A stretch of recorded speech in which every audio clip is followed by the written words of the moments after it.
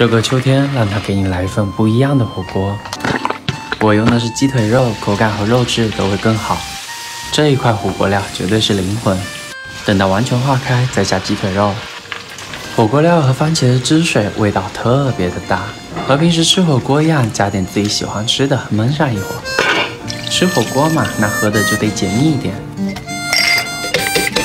青提要打碎一点，加一点蜂蜜、绿茶作为茶底。这一杯特别的怪又解腻，时不时还能吸到青提的果肉。